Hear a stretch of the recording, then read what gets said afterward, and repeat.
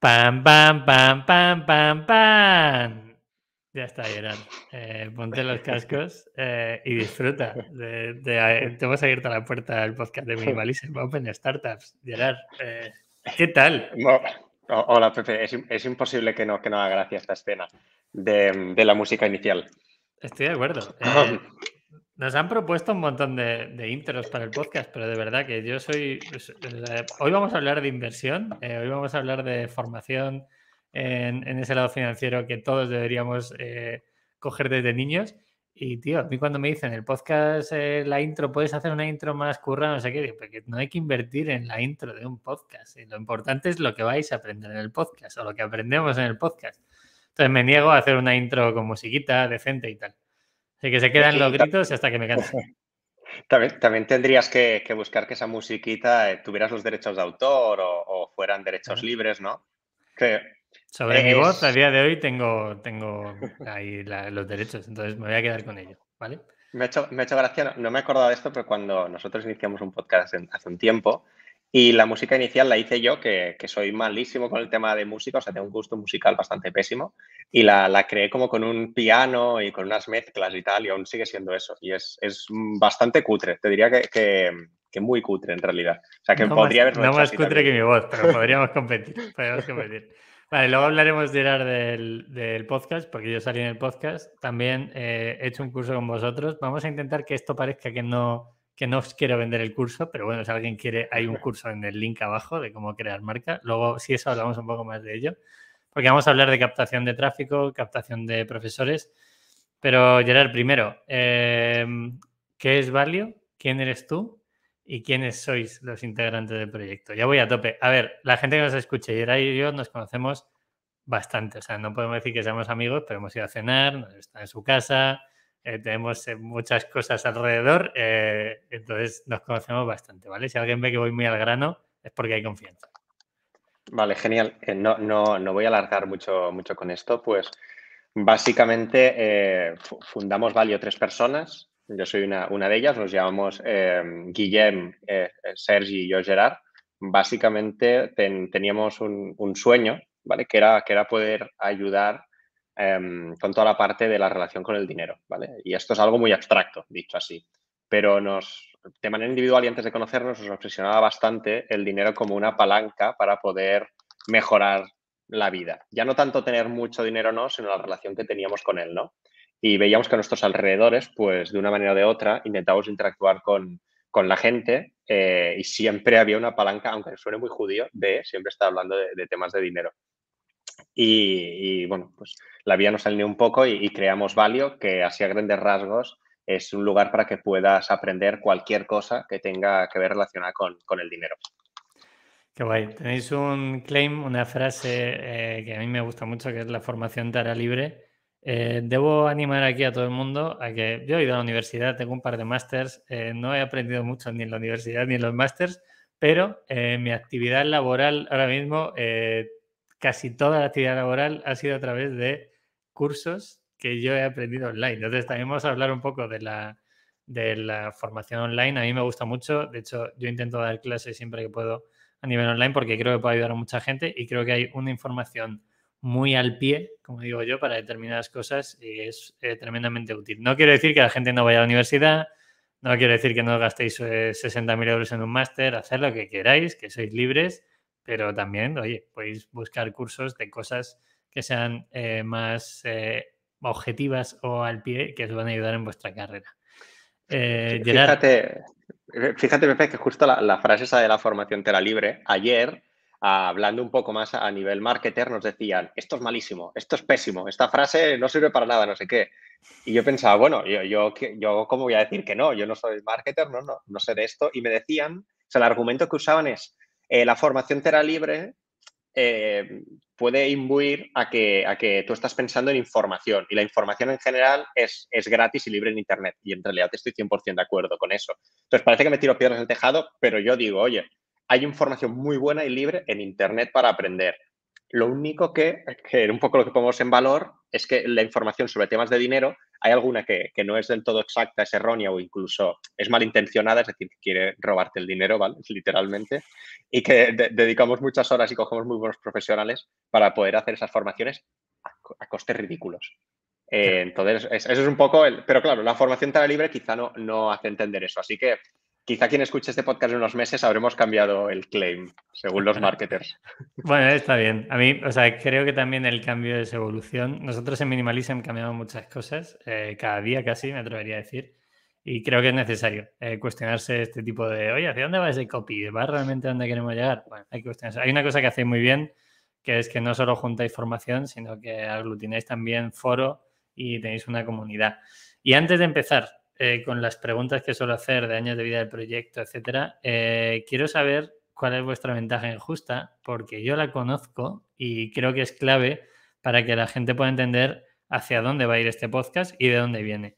Eh, ¿Cómo nace Valio antes de llamarse Valio, Gerard? Claro. Em, quizá antes que, nos hemos presentado los tres, los tres fundadores, ¿no? hago un resumen rápido de dónde venimos para entender esa ventaja injusta. Em, bueno, la, la primera, yo, ¿de dónde, de dónde vengo un poco? Yo estaba, estaba pues, ganándome la vida haciendo algunos proyectos, rollo, pues hazme una web, hazme cosas así, ¿no? Eh, de valor añadido relativamente justo, ¿vale? Pero que bueno, que te daba para, vivir si no tenías muchos gastos. Todos hemos pasado por ahí. Pero que molaba bastante porque eras un poco tú dueño de tu tiempo y de tu vida, ¿sabes? Eh, aunque estuvieras currando en una oficina sin calefacción para ahorrar, pues, pero estaba guay, os, os aseguro que, al menos en, mi, cabeza, en mi locura, molaba. Y de ahí, eh, como en general nos juntábamos locos, estamos hablando de 2016 o así, conocimos a uno que estaba bastante metido con, todo el tema de las comunidades eh, de criptomonedas, que entonces no eran nada famosas en realidad. Sobre todo estábamos con una que se llama NEM, también tocamos bastante la comunidad de, de Ethereum. Y, mm, y esos, digamos, fueron mis inicios, ¿no? Que, aprendí que se podía hacer, eh, bueno, proyectos, digamos, comunitarios a través de los propios fondos de fundaciones en NEM, y esto es público, ahora, ahora NEM como fundación no existe como tal, pero puedes buscar forum, NEM, etcétera, y, eso me dio una lección muy clara de que una, una comunidad tenía un potencial tremendo para poder hacer realidad los proyectos de la misma, ¿no? Entonces, esos fueron un poco mis inicios y, estuve pues, haciendo varios proyectos eh, de tema de blockchain, de trazabilidad. Por ejemplo, hicimos un proyecto con, con Repsol de trazabilidad del petróleo. No suena muy sexy em, y quizá no ha sido el caso de uso más sexy, ¿no? No sé, podríamos habernos enfocado en NFTs. La primera vez que me hablaron del protocolo de Ethereum 721 de NFTs, eh, pensé, pues no le veo el valor a esto. Y a día de hoy le veo un poco más, todo y que tampoco soy, soy un experto, ¿no? Y, bueno, esos fueron mis inicios y de ahí conocí a Sergi, que Sergi es el, el otro fundador eh, Sergi había fundado una empresa eh, que se llama Meller, que venden gafas de sol. Y, con él, bueno, pues eh, nos conocimos por el tema de blockchain, nos hicimos amigos y veíamos que éramos muy frikis los dos de las finanzas personales. Y un día salió, oye, realmente yo querría dedicarme a esto. Y, fue, fue mutuo. Y entonces dijimos, oye, pues quizá algún día nos podemos dedicar. Y cuando ya, ya decidí que dejaría un poco hacer toda la parte de, de consultoría, etcétera, y me pasaría a empezar algo de finanzas personales, no un producto, sino algo, no sabía qué, pero en ese, en ese sector. Em, entonces Sergi me dijo, oye, quizá deberíamos contar a un tercer socio que, que, supiera algo de verdad de finanzas personales, porque los dos éramos muy amateur, ¿no? Y entonces dijimos, vale, vamos a hacer la lista de los Reyes Magos. Y empezamos a apuntar. Em, que sepa, que tenga, bueno, pusimos que tenga una ventaja injusta. Esto lo pusimos, ¿vale? Una ventaja que sea, que sea injusta sobre, sobre este sector que sea buen tío, que esté alineado con nosotros, que quiera dejar su trabajo, que ponga dinero como nosotros para empezar la compañía. Em, no sé, o sea, más cosas, ¿no? Hicimos una lista y entonces golpe me dijo, oye, creo que tengo la persona. Y, él se llama Guillem y había montado, y ahí viene la ventaja injusta, un blog que si alguien de la audiencia es un poco friki o fan de las finanzas personales, se llama La Hormiga Capitalista que era uno de los blogs más leídos sobre el tema de independencia financiera, finanzas personales, fondos indexados en, habla hispana, sobre todo aquí en España.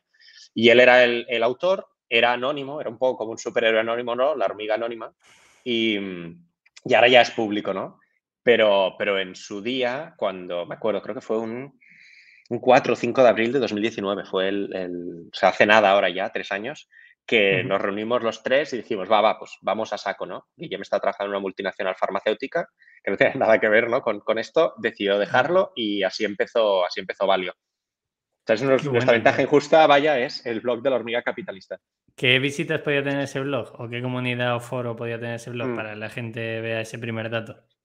Pues creo que anualmente estábamos en millón doscientos mil usuarios únicos o así, de, de un, de un tema que era, entre comillas, un poco nicho, ¿no? Porque gente que busca en Internet, eh, cómo ganar dinero rápido, ¿no? Eh, o cómo ser rico ya.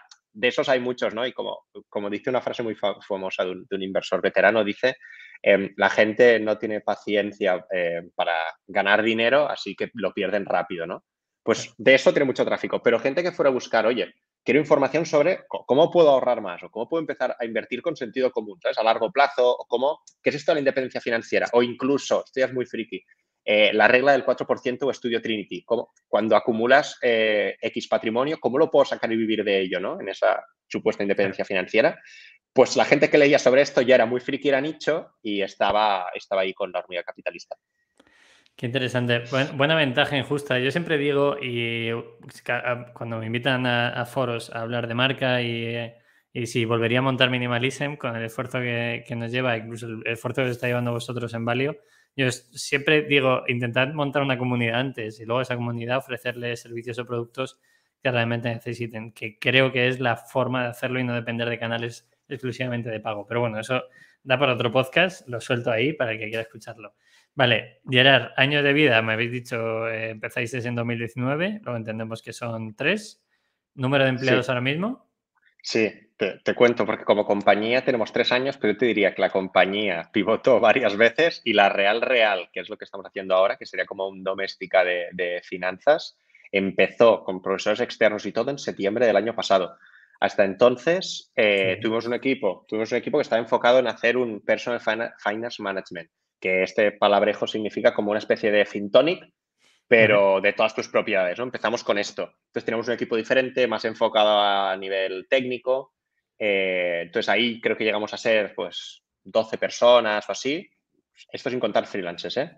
Y eso pues otra vez lo redujimos al equipo fundador hace un año, porque no, realmente no, te- no tenía la atracción que esperábamos, costaba mucho monetizar, era un negocio de capital muy intensivo, eh, no veíamos una relación muy clara sobre dar información a la gente a través de planificación financiera y que estuvieran aprendiendo. En cambio, testeamos hacer algunos temas de formación online, pues, la gente se quedaba muy contenta, lo entendía, lo empezaba a aplicar y ahí es Uy. donde vimos el nicho. Pero hasta entonces las formaciones las habíamos hecho nosotros, ¿no? Y entonces dijimos, oye, aquí hay que traer expertos sobre otras temáticas que lo expliquen muy bien y que sea, que sea bastante accesible a cualquier persona.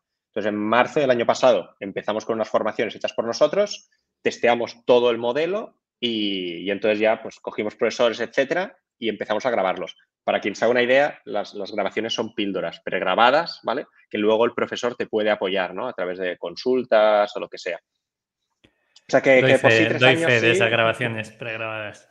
Sí, o sea, tres años sí, pero yo te diría un año y el modelo desde septiembre. Perfecto. Eh, ¿Empleados que tenéis ahora? Ah, sí, em, ahora estamos siete full time aquí en, en la oficina en Barcelona y luego freelancers, pues debemos tener unos 15 o así. Qué bien. Eh, ¿Facturación 2021? Pues 2021 estuvimos en 83.000 euros o así, que va, más o menos 83.000 vinieron de septiembre, o sea, fue el Q4. O sea que, claro, si hacéis el movimiento hasta final, a final de año, entiendo que a partir de ahí buscáis Sí. eh, capitalizar esa inversión. Claro, Eh, o sea, para que ¿Financiación? sí, bueno, para que te hagas una idea, ¿eh? a nivel de, de fi- de facturación, nuestro objetivo siempre era estar por encima de 10.000 al mes. Vale. También decir, sin, sin invertir apenas nada en, en marketing digital. Cuando digo apenas nada, le podemos poner números, ¿no? ¿Qué, qué significa apenas nada? Pero vamos, todo era puramente de la comunidad. Pues apenas nada significa que días fuertes, eh, quizá 50 euros en Facebook Ads, pero que esto es, creo es, relativamente bajo, es muy poco. Y, y esto para hacer testeos de cosas. Quiero decir, lo normal es no, no poner Facebook Ads para nosotros, hacer otro tipo de, de atracción. Qué interesante. Ahora vamos a entrar a la parte de captación, además de cómo lo movéis por el foro y la comunidad. Eh, ¿Cómo os habéis financiado? ¿Cómo financiáis Value? Mm, Pues eh, en los inicios, te, te puedo ir poniendo números si, si te parece bien. Sí, sí. Empezamos poniendo nuestro capital, pusimos unos 40.000, que, que básicamente esos 40.000 pues venían de ahorros que teníamos. En mi caso también decidí, oye, pues no ponerme salario, decir, va, voy a estar sin salario dos años, voy a vender un poco todo lo que me supone más gastos y que además me puede dar cash ahora, ejemplo, pues coche. Lo vendí y parte de, pues, de ese dinero ya, ya eh, vino para mí por parte de fundar Valio. Mm, que bueno, por eso también ahí ya hay otra historia ¿no? de, de, esos primeros años, de cómo, cómo fueron. Cuéntalo, y... cuéntalo. O sea, tú validaste el modelo. A mí me flipa esto porque estás, estás, estás chalado. Entonces, creo sí. que contarlo. Eh, validaste por qué la gente debe entender a gestionar su dinero viviendo por debajo del. Esto va a sonar un poco raro, ¿no? Pero es realmente es el umbral de la pobreza en España, o entiendo que no será global, ¿no? No, es en, España, global, global es, es otro global tipo, es ¿no? Y incluso si miramos, no me quiero poner a, ahora pesado con esto, pero si miramos a, a nivel histórico, ¿no? De, como población humana del siglo contemporáneo, eh, el tema de, del límite de la pobreza es muy inferior, muy inferior del que conocemos a, a día de hoy. Entonces, mm. para, para, no, para no alargarme, eh, bueno, o sea, no le recomiendo a nadie que lo haga, al final es una decisión propia y, tal. Y, ya que tenía la oportunidad de estar dos años sin salario, eh, intenté ver de reducir al máximo, con más o menos sentido común, los gastos, ¿no? Y, también al final eh, promovemos eso en Valio, ¿no? De, oye, mmm, estoy convencido de que con más, muchísimo más dinero tienes por qué ser más feliz y que muchas de las cosas que te hacen feliz en la vida eh, no tienen un precio como tal, ¿no? Y que muchas veces tra traba trabajamos y quizá pues perdemos esa conexión con, con, la familia o con amigos o con la pareja, ¿sabes? Que, que, parece que la pareja al final se convierte quizá en un compañero de piso con el que compartir gastos, tal, y que no, no nos prestamos atención realmente, ¿no? Y esas cosas es más tiempo que dinero. Ojo, que puedes tener más tiempo si sabes poner el dinero allí. Es... Sí, la cuestión, creo que, que más o menos estamos hablando de que yo intentaba estar en 550 de gasto al mes. Obviamente estoy hablando de eh, pagando alquiler en Barcelona, pagando comida, eh, todo, o sea, transporte, hablo de full, full equipo. Y es posible sí. Eh, ¿Cómo? Obviamente has estar, sí, bueno, has estar o soltero, bueno, soltero, no sé soltero o alguien con mucha paciencia a tu lado, al menos. Vale. eh, porque pues no, no, tienes mucho ¿no? para gastar al mes de, de esto. Luego eh, tienes que, que, tener muchas estrategias de, de, cocina, ¿no? De saber pues cocinar más o menos sano. Eh, tema de deporte, pues el gimnasio de la calle es el mejor, ¿no? Eh, pues, ese, es el, ese es el que te puedes permitir también. Transporte, oye, caminar está bien, además puedes ir escuchando el podcast ¿no? de, minimal, de minimalism sí, sí. mientras Perfecto. caminas, ¿no? Sí, eh, recuerdo, es más, recuerdo en, en, esa, en esa época a veces escucharte, Pepe, en el podcast mientras iba caminando y tal. También es verdad que conseguí eh, de segunda mano un patinete eléctrico, interesante. Eh, me, me, he dado alguna buena nata, no lo recomiendo a todo el mundo, pero, pero bueno, eh, fue, fue, un año, fue un año divertido. Fue de septiembre a septiembre, de, de, septiembre de 2019 a septiembre de 2020. Ayudó estar en medio de la pandemia porque reduce mucho las capacidades de poder gastar en cualquier cosa. Claro. No sé, no sé si lo habría conseguido si no, pero, pero puedo decir que, que llegué al objetivo eh, y ese año eso estuve por debajo, por debajo de los 7.500 euros de gasto. Y, y bueno, fue, fue, menos duro de lo que parece, fue bastante entretenido y, y, conectas con cosas más simplistas de la vida, ¿no? Bueno, realmente así aprendiste lo que quizá tu cliente o potencial cliente pueda venir a buscar a Valio. Eh, sí. Vamos a hablar de esos clientes. Eh, ¿Quién son esos clientes? ¿Qué perfil tienen? Porque eh, si alguien entra en la web, que obviamente está en la parte de abajo, los copies son algo agresivos porque es eh, para gente, yo entiendo, que, que, sabe algo de finanzas, que quizá tenga algo de formación, pero que lo que está buscando es formarse más para llegar a esa libertad financiera, independencia, el famoso factor money o fact no sé qué, pues eh, ese sí. es el punto. ¿Quién es ese cliente que vosotros tenéis? Sí, um, para empezar también, ah, luego te defino con, cifras y todo que lo tengo aquí apuntado el cliente, pero a veces somos un poco más agresivos porque al final eh, estás compitiendo por atención sobre temas de dinero, no Internet, y la mayoría están copados porque tiene un coste de adquisición eh, más alto, se lo puede permitir. ¿Qué es eso? Pues véase productos financieros derivados con los que perder rápidamente el dinero, eh, cursos de gurús para hacerte rico con trading u, u otros temas astrológicos, de líneas y tal, eh, estamos hablando de que incluso a nivel legal, el propio sistema, los bancos o aseguradoras, hay productos que están creados para drenar el dinero a las personas. Entonces, ellos en general tienen muchas herramientas, muchos recursos, son, son muy agresivos, ¿no? Y juegan mucho con que, bueno, ya que has hablado con este supuesto asesor, que no deja de ser, un comercial bancario, ¿vale? Pero ya que has hablado con este tío, pues voy a hacerle caso, ¿qué pierdo, no? Y, pues como parece que no le estás pagando dinero, nadie, absolutamente nadie te da un consejo gratuito. Si tú no le estás pagando por esos consejos, es el producto. Y si el, y el producto significa que lo estás pagando tú. Es decir, de tu dinero. Si te han cobrado un 2-3% de comisiones, pues ahí lo tienes, ¿vale? Entonces, por eso somos a veces un poco más agresivos y, dejamos claro ¿no? que, eres tú el que ha de entender al menos las bases de cómo funciona un poco todo el tema del dinero para poder tomar las decisiones correctas. a nivel de los usuarios, lo que hicimos es, ah, primero empezamos haciendo, bueno, captando de, dentro del tráfico de la hormiga, etcétera, y más la base de emails que teníamos, captamos esas primeras, te diría, cerca de 10.000 personas, ¿vale? En los primeros meses. Y estas 10.000, aparte de resolvernos algunos test pues, de producto, de qué les interesaría y tal, probamos a hacer la planificación financiera. Y esa planificación te preguntaba, pues, edad, ingresos, objetivos. Entonces, te diré, basado en 9.000 planes que hicimos, eh, más o menos cuál, cuál era ese primer público, que te diría super early adopter. Eran millennial y all millennial. Al final estamos hablando de personas de 25 a 45, no creo, está el top de arriba de los millennial. Por ahí debe andar personas que en general tenían un salario más alto de la media, que tenían ahorrados de media unos, unos 35.000 euros y que aspiraban al menos a, conseguir en los próximos años llegar a ahorrar e invertir medio millón, ¿vale? Que a partir de eso se empezaban a sentir como más, más libres. Estamos hablando de cifras muy altas y que pueden marear a, muchas personas. También os digo, em, es, una gran ventaja poder mirar a, 20, 30 años vista, pero nadie venderá un, un bestseller que diga hazte rico de aquí 20 años. Todo, y que realmente eh, tendría mucho sentido y hay muchas maneras que si lo miras a dos décadas vista, tienes muchas ventajas competitivas porque nadie mira a largo plazo, ¿no? Todo el mundo está mirando cómo puedo ser rico mañana, ¿no? El año que viene y esto. Hacer dinero en Internet, eh, fácil, mañana. Sí, claro, y esto, eh, bueno, quiero decir, cualquiera que, lo busque encontrará allí, pero nosotros nos tomamos en serio el dinero, entonces nos, gustaría, em, y creo que tú también, Pepe, cuando, cuando has hablado de la formación o de crear tu marca en Internet o de vender, que alejas mucho el argumento de que sea algo sencillo o que sea ingreso pasivo, que me hace mucha gracia este concepto, ¿no? De que no hagas nada, ¿no? Ingreso pasivo y ya tienes el cash cow. no, no, he conocido nunca ningún caso. Yo, de hecho, en el curso que tengo con vosotros, no sé si es en la primera o segunda clase, digo, a ver, esto es complicado, esto es... O sea, que nadie quiere por montar un e-commerce, funcione o no funcione, como es el caso de Minimalism, u otros e-commerce que he tenido antes, eh, vas a darle al botón y vas a empezar a ganar dinero. Posiblemente ganes dinero al tiempo, pero bueno, pues tiene que pasar muchas cosas. Yo lo dejé muy claro y creo que ahí vamos muy alineados. ¿Cómo conseguís esos clientes? ¿Venís de la base de datos que teníais en, el, blog? ¿Tenéis el podcast? Que el podcast eh, entiendo que tiene bastantes escuchas, funciona bastante bien. ¿Qué más cosas hacéis? Eh, porque captación de pago, has dicho que muy poquito al mes. Pero ¿qué más cosas hacéis que, que, puede, que puedes contar? Vale. Pues a ver, a nivel, a nivel de, por ejemplo, la comunidad, creo en Google y cualquier persona lo puede comprobar, si pones comunidad finanzas personales, solemos tener la primera posición a nivel orgánico, ¿no? Hemos sido bastante buenos en SEO.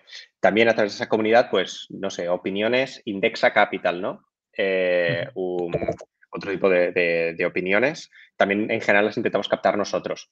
De manera orgánica, hay personas que nos se preguntan cuánto me cuesta mi boda o cuánto me podría costar mi boda o, cuánto, cuánto, cómo podría eh, hacer un menú semanal de comida. O sea, hay muchas preguntas. Tenemos, para que te hagas una idea, tenemos miles de temas en el, foro y, no sé, cientos de miles de respuestas, como un foro coches del dinero, ¿vale? El foro de Valio. Y es todo abierto, gratis, público, no te obligamos a que te registres, o sea, mm, para que esté allí un poco, porque si nuestra esencia era democratizar conocimiento financiero, nos gustaría, oye, que me pones ahí un enlace para redirigir tráfico, no te preocupes, que yo creo que a los 10 minutos ya no lo tendrás. O sea, estamos muy encima de, todo lo que se publica y que tenga sentido y que no hayan eh, intenciones, bueno, ocultas, ¿no? Detrás de, cada publicación. Eso es una gran fuente de, captación que tenemos. Después, em, como bien has dicho el podcast, que en el podcast lo que hacemos es nudismo financiero. Tenemos diversos perfiles de personas que cuenten todo el dinero que tienen, cómo lo han hecho, etcétera, y un poco pues su estilo, estilo de vida y, filosofía, ¿no? También. Eso también es una, es una buena fuente de captación.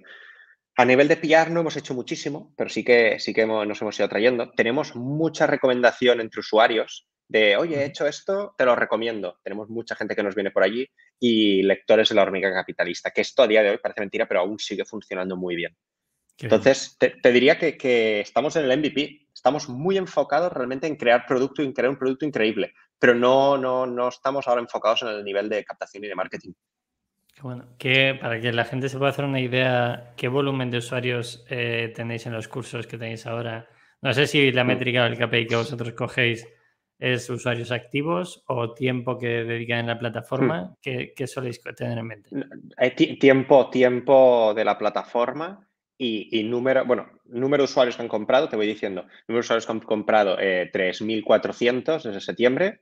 Em, tiempo de la plataforma de media, estamos hablando de, 14 minutos, que eso va muy alineado con lo de Edu, intenta educarte 15 minutos al día. Como hacemos pues píldoras, tiene mucho sentido después, una métrica para nosotros muy importante es de esas personas, cuántos compran una segunda formación, que es un 40%, por tanto, pues hemos vendido algo más de 5.000 formaciones en septiembre. Em, ticket medio, ticket medio 23 euros. Y a partir de final de enero, principio de febrero, probamos también hacer una suscripción anual. Eh, pues eso, por ahora ¿Qué, ¿Qué, tal me has preguntado, Pepe? Sí, ¿O a cuánto?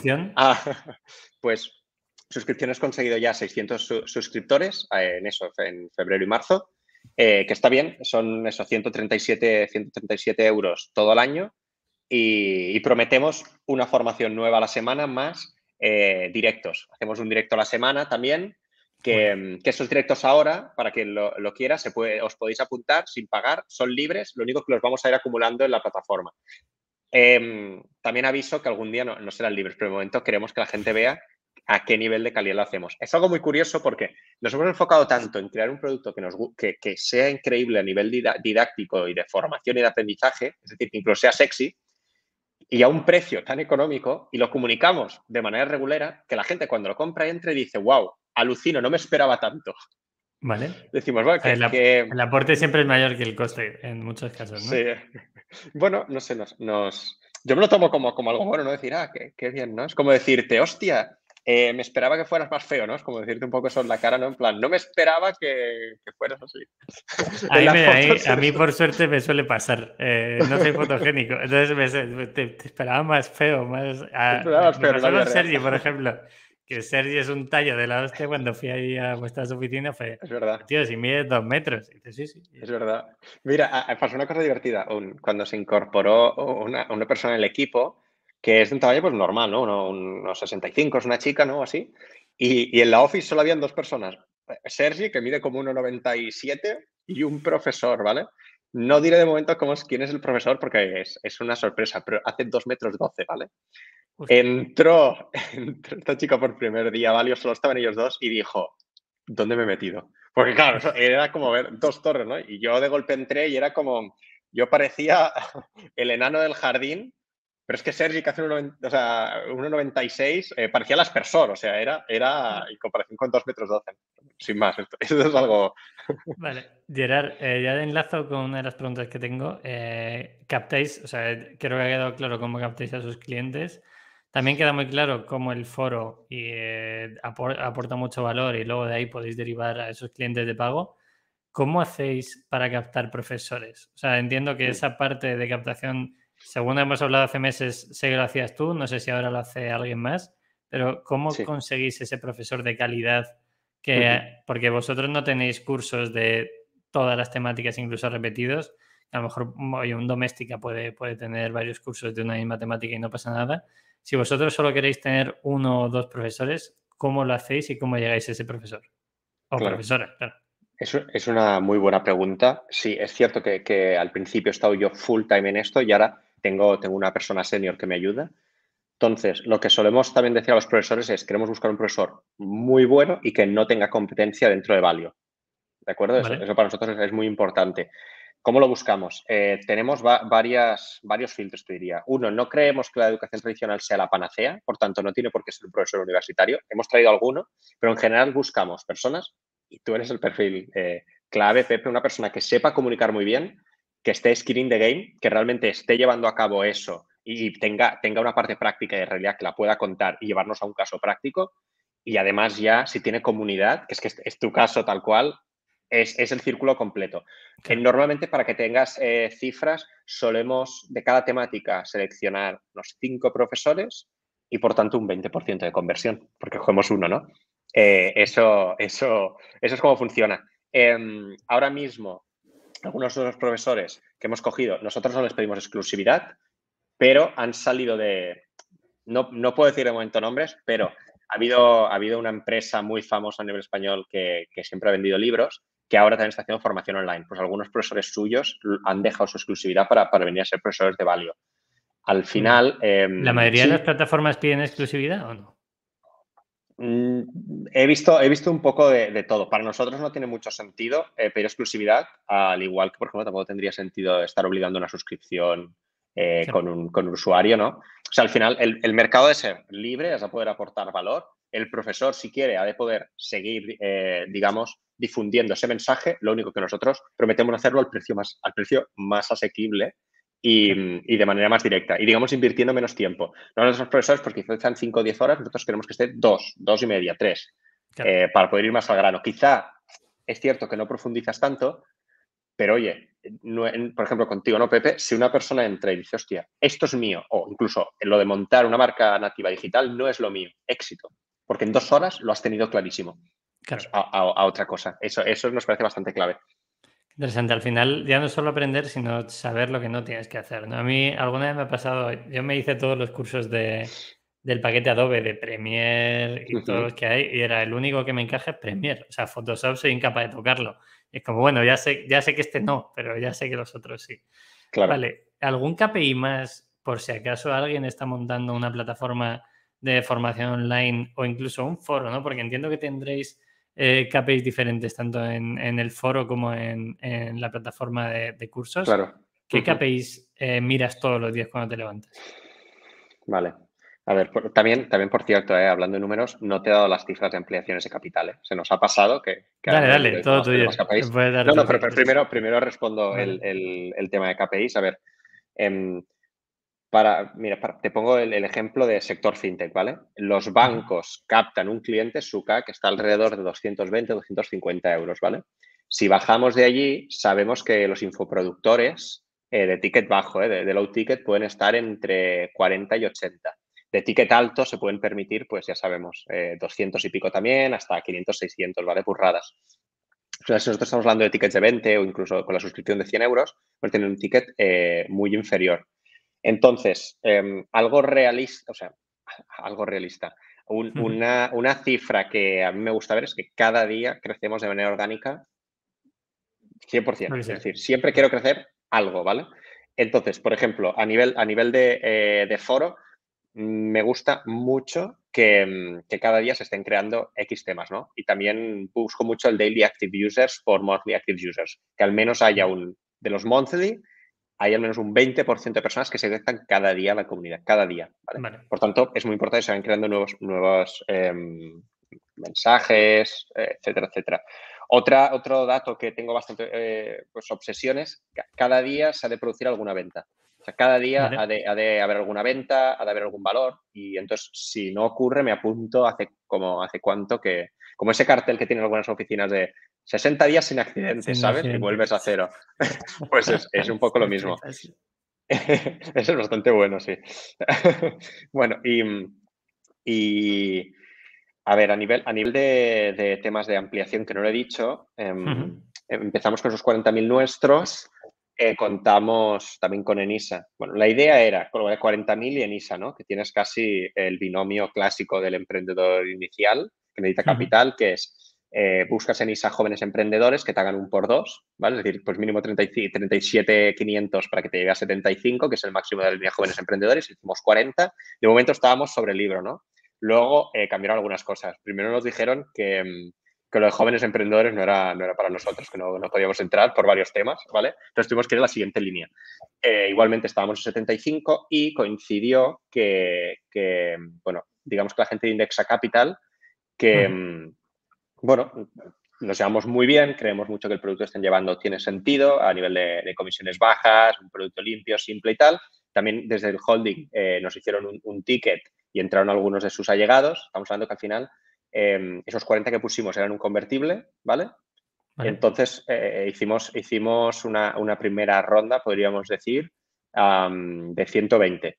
Y esa se tenía que juntar con que para nosotros era la referencia, que era la gente de Seed Rocket, ¿no? Que los veíamos totalmente skin in the game, gente muy buena que además dentro de Sergi en, la anterior empresa, ¿no? Había tenido algunos de ellos que, les habían gustado mucho. ¿Qué pasa? Que con la pandemia y tal el campus se atrasó, pero bueno, también algunas de esas personas hicieron un ticket. Estamos hablando de unos 45. Por tanto, como primera ronda pre-seed, más el ENISA de 75, estamos hablando de un cuarto de, millón, más o menos. Eso fue el inicio.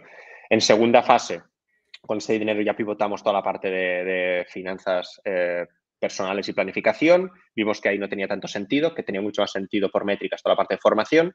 Y ya en el siguiente paso eh, cerramos con, bueno, René de Jong, por ejemplo, un business angel eh, bastante conocido en España. Con ¿Le conocí hace poco? ¿Le conocí ¿Ah, hace poco? ¿Ah, sí, no, puedo, no, puedo, decir, no puedo decir, o sea, tú sabes por qué, pero no puedo decir cuál es el enlace, porque me mata. Pero, pero sí, sí, estuve en una cerveza de esas. Eh, René es un súper conector, eh, sobre todo la gente de Madrid que se mueve en el sector de startup lo conoce bastante. Yo lo recomiendo muchísimo, te ayuda mil. Es una persona que realmente eh, hace honor al nombre de Business Angel. Entonces, bueno, tenemos la gran suerte de contar con él y a nivel de, dinero profesional podemos decir los chicos de Enzo Ventures y Draper B1. Entonces, con ellos hicimos 277.000 más otro en ISA, pues ese en ISA eran pues de 120, vamos, subimos a 400, ¿vale? Y, con eso hemos estado, hemos estado pues, bueno, creando a saco, o sea, ese dinero ha, venido para empezar a testar el modelo fuerte de educación online y crear. Y ahora que hemos visto que, pues, sabemos captar profesores buenos, crear, etcétera, y ahora le vamos a empezar a dar ya más caña a, nivel de captación. Em, bueno, exploramos, la verdad es que dijimos, oye, quizá preguntamos, mira, esto fue curioso, Sergi preguntó en un forum, oye, quizá hacemos una, una, una pequeña ronda, ¿no? Lo vamos a explorar en, su forma personal, ¿eh? Y de golpe pues, nos vinieron más, más de 60 personas. Digo, hostia, esto es mucha gente y muchos que querían poner tickets relativamente grandes de nuestra comunidad. Entonces, cuando dijimos eso a nuestros, eh, digamos, lead investors, ¿no? Pues Enzo y Draper, nos dijeron, oye, pues si ampliáis un poco, vamos nosotros también. Y entonces ahora hemos cerrado, eh, esto no es público, ni lo sabe nadie, quizá tampoco a nadie le importa, ¿eh? pero lo cuento si, alguien le hace gracia.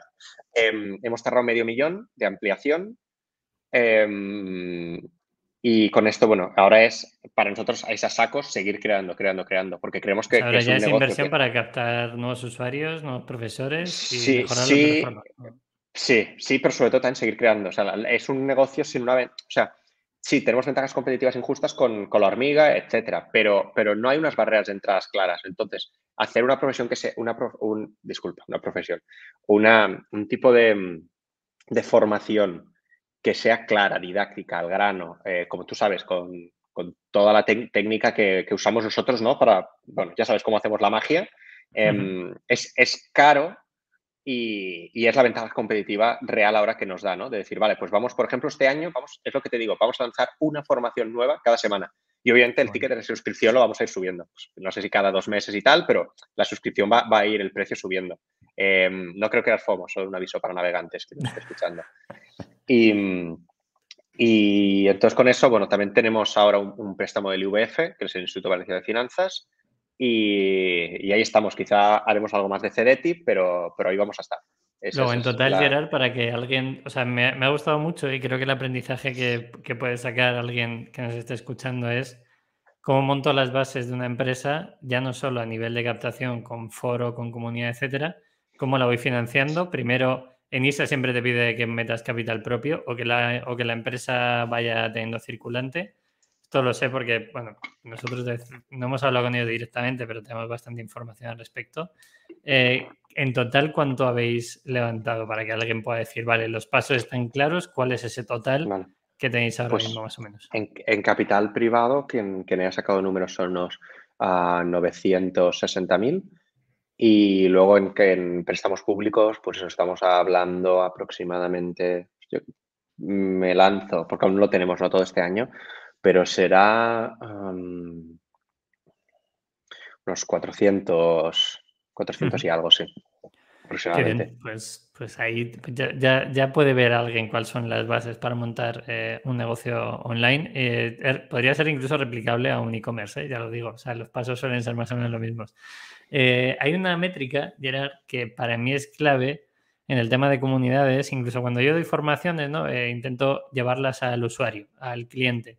¿Cómo medís eh, o monitorizáis la, satisfacción de vuestro cliente? Claro, eso es, una cosa muy interesante porque fíjate, em, primero de todo, para nosotros si una persona compra pero no lo hace es un fracaso, es un fracaso claro porque ni puede, ni puede disfrutar el producto y, y, que al final lo que queremos es, oye, tú por ejemplo, ¿no? Una formación que tenemos sobre cómo empezar a invertir en fondos indexados o incluso de tal cual, de cómo comprar una vivienda para alquilarla. O sea, son formaciones de, oye, la haces y el éxito claro es que lo apliques. Si no la haces, pero nos pagas y no aplicas, fracaso. Por tanto, nosotros hacemos bastante push en, oye, em, no has iniciado este curso, ¿te podemos ayudar en algo? Entra en la comunidad, comenta, o sea, motívate, ¿sabes? Empieza a entrar un poco en todo este mundo. Eso por una parte. Y por la otra, hemos creado un funnel automático que lo que hace es, bueno, si me escucha algún, algún usuario, eh, que, sepa que, está hecho con, toda la buena fe, aunque sea automático. ¿eh? Cuando completas un curso, te llega un email automático eh, que queremos hablar contigo. Que aunque sea automático, queremos hablar contigo, ¿eh? Que no, que no es, o sea, aunque yo no lo haga de, que, no, lo haga de, mi pluma, ¿no? Que no lo haga a mano y pluma, no significa que no quiera. Y, ese mensaje le llega random de cualquier persona de Valio. Es decir, cualquiera de los, de los que trabajamos en Valio podemos recibir en nuestro calendar Em, media hora de hablar con un usuario. ¿vale? Eso, es, eso es muy interesante porque envía personalizado el email con el nombre de esa persona y le, y le guardan el calendar. ¿Por qué? Porque creemos que todo el mundo haga lo que haga dentro de Valio, ha de poder hablar con los usuarios que están completando cursos y poder recibir el feedback y que, querría mejorar. Todo eso lo apuntamos y, bueno, lo apuntamos, tenemos un guion ¿no? de que deberíamos seguir. Todo y que nos encanta ¿eh? también improvisar y, escuchar ¿no? lo que quieren los usuarios y pues a partir de ahí también vemos cómo, cómo pivotar, qué mejorar, qué añadir, etcétera. Porque las muy importante lo que acabas de decir, Gerard. Muy, muy importante para que la gente lo entienda. Que yo me centro en resumir lo que decís para que quede dos veces. Eh, muchas veces, y esto pasa también en e-commerce, eh, a nosotros, por ejemplo, nos dicen, oye, meted toallas o meted ropa de cama o meted cosas de niño. El cliente ya te está dando la información que quiere o el curso que haría, ¿no? Si tú ya tienes su mail, está en el foro, etcétera, y te piden un, curso de cómo comprar una casa y sacarle rendimiento alquilando, pues posiblemente tengas que hacer ese curso. No solo porque te diga una persona, pero si te lo dicen 10 ya es un pitador que te puede hacer o te puede dar unas trazas de dónde tenéis que sacar el siguiente curso. Lo importante aquí, tener esa conversación con vuestra comunidad. Es, obvio, pero no todo el mundo lo hace. Sí, eh, eh, pues es la base. creo que hay, algunas personas que confunden audiencia con comunidad, ¿no? Sé que ahora está muy de moda hablar de comunidad, Em, nosotros somos comunidad desde, el inicio, no por nada, sino porque es que creemos que es la única manera de, poder hacer este tipo de, sector y de negocio. Qué bien. Eh, Gerard, para que la gente entienda vuestro modelo, además de, oye, foro, comunidad de cursos, ¿dónde ganáis dinero? Entiendo que eh, lleváis una comisión por, o sea, obviamente ganáis dinero con los cursos, pero ¿tenéis algún tipo de, de fuente de ingresos más allá, como una afiliación? O algo del estilo, o solo trabajáis con, el ingreso que os venga de cursos? Cuando hacíamos planificación financiera, teníamos, por ejemplo, afiliación eh, pues con RoboAdvisors o productos que considerábamos o con cuentas remuneradas que consideramos que eran buenos productos, ¿vale? Productos chicharreros y tal, pues, pues mejor que no, porque pues, al final em, tienes un conflicto de interés. Si educas, a, si educas a alguien o le planificas a alguien y luego le pasas un producto chicharrero, pues le estás haciendo perder dinero, ¿no? Pero fuera, fuera de eso, eh, cuando hemos empezado la educación, nos hemos quedado puramente con este tipo de ingreso, 100% objetivo. Porque si no, creemos que no, no puede, creemos que, tienes, tienes un conflicto de interés muy claro, ¿no? Intentas educar, pero a la vez también estás ganando por afiliación. Entonces, sí que ahora también vamos a explorar hacer a nivel de empresas para sus empleados, ¿vale? Creemos que, bueno, nos han llegado varias empresas que están muy interesadas en todo, en todo este tema, ¿vale? Creemos que ahí hay, hay un nicho bastante, bastante interesante. Y como puedes ver, lo hablo todo de manera transparente porque creo que hace mucha falta y mucha necesidad todo el tema de la educación financiera. Si hablas con la gente, eh, lo verás. O sea, incluso se habla de por qué no se da más en escuelas, en universidades, en empresas. ¿Cómo puede ser que la gente vaya a pedir una hipoteca y no, sepa ni las bases, ni cómo negociarlo, ni lo que significa ¿no? para, el patrimonio futuro? Entonces, yo, yo te digo, no es por llamar la competencia, pero encantado de que haya más gente que quiera hacer las cosas bien, porque es una necesidad gigante que tenemos como sociedad y más en España. Sí, eh, te lo tomo. De hecho, cuando estuve en la entrevista con Sergi, mis palabras eran, oye, mm, dadle todo lo fuerte que podáis a que la gente sepa cómo gestionar el dinero, porque, Porque es que si nos enseñaran desde pequeño que el dinero no es el demonio y que gestionándolo bien puedes llegar a tomar una serie de decisiones que apalanquen esa libertad que todos buscamos, creo que eso es la clave de hacia dónde ir esto. Eh, hay una pregunta que suelo hacer siempre, Gerard, que es ¿cuál es el futuro de Value? Una vez que ya habéis entrado en rondas, que habéis entrado en, oye, hay que seguir creciendo en capital, vais a hacer una inversión muy fuerte en formación, en cursos, etcétera. ¿Cuál es el futuro? ¿Esto es vendible? Eh, ¿os, tenéis algún contacto de alguien que os venga a, a, hurgar o no? Sí, o sea, creo que esto nos, pasa a muchos, ¿no? De gente que, oye, pues te dice o que quiere adquirir o que te quiere comprar o cosas estas pueden, pueden ir pasando y nos, y nos pasan, ¿no? En realidad montamos esto porque era nuestra pasión. No sé si se suele decir esto que el éxito puede ser la tumba, ¿no? Pero, pero a mí me gustaría dedicarme a esto. O sea, y creo que estoy muy alineado con mis socios. Entonces, estamos, estamos viendo ahora un, momento duro pero dulce, porque vemos como hay muchas personas que nos dicen, oye, esto me ha explotado la cabeza, no sé. La formación sobre eh, cómo, optimizar mi dinero me ha explotado la cabeza. Es decir, yo pensaba que más o menos tenía que controlar las cosas, pero no sabía un poco que, habían, habían, digamos, visiones diferentes ¿no? sobre cómo tratar mi relación con el dinero. Entonces, eh, eh, eso, eso nos encanta. A nivel de visión de dónde queremos ir, vemos mucha necesidad en habla hispana, ¿vale? Vemos que en habla anglosajona hay, aparte de que hay una competencia mucho mayor, hay muchísimo más conocimiento, ¿no? Entonces, vemos también que España y Latinoamérica es, el siguiente paso. Em, creemos muchísimo también en el concepto de, universidad libre, ¿vale? De universidad online libre, que todo el mundo pueda aprender, que no solo sepas cómo gestionar mejor tu dinero, sino que también puedas encontrar nuevas fuentes de ingreso, ¿no? es tu caso, Pepe, con, la formación que hace Native Brand, que una persona pueda empezar a tener una mejor relación con su dinero, empezar a invertir, etcétera, etcétera, y a planificarse, ¿no? Pero que también pueda tener nuevas fuentes de ingreso o incluso montarse su propio trabajo, ¿no? Em, ambicionamos eh, llegar, para que en habla hispana, pues tenemos que tener en el mundo 600, 700 personas, ¿vale? Pues es un 10% de la población. Ambicionamos llegar a, 100 millones de personas, por tanto, a un porcentaje muy alto de, personas de habla hispana. No sabemos cuántos años nos va a llegar esto, ¿vale? Estamos seguros que nos va a llevar varios años. Em, pero seguiremos luchando en ello. Eh, por tanto, cuando entras en la, rueda de coger capital externo, tienes que crecer por fuerza, pero también queremos crecer y crecer mucho con la comunidad que eso es una cosa también que, vamos a estar preparando este año, no sé cuántos meses tardaremos, pero querremos sacar también un crowdfunding con la comunidad, porque mucha gente querría formar parte de Valio y es algo que vamos a explorar y que queremos promocionar mucho. Nos gustaría que, el éxito de la educación financiera con nosotros tuviera que ver con todas las personas que nos apoyan. Tiene mucho sentido. Eh, nosotros en Minimalism lo hemos planteado alguna vez y de hecho trajimos aquí a, la gente de CrowdCube a charlar y no, Starter Explore vino y CraftCube a lo mejor viene. Eh, ya, em, una duda, Gerard, que te estaba escuchando. ¿Sois rentables al primer pedido, o sea, al primer curso? ¿O cuánto tardáis, cuántos mm. cursos necesitáis para rentabilizar a un usuario en coste de captación? Claro. E, el tema es, por ejemplo, si te hablo de coste de captación, a día de hoy, como no estamos haciendo marketing digital como tal, eh, no te puedo calcular, te puedo decir que hemos hecho pruebas de captación de leads, ¿no? Eh, que son pruebas que nos salen muy, bajos, pues por ejemplo a 4 euros de captación de leads. Estoy convencido de que aumentas el, ticket de captación de marketing digital y subes. Estoy convencido, no, no somos tan inocentes. La cuestión es que eh, a día de hoy te podría decir que, casi es el inicio rentable porque la captación pura es orgánica.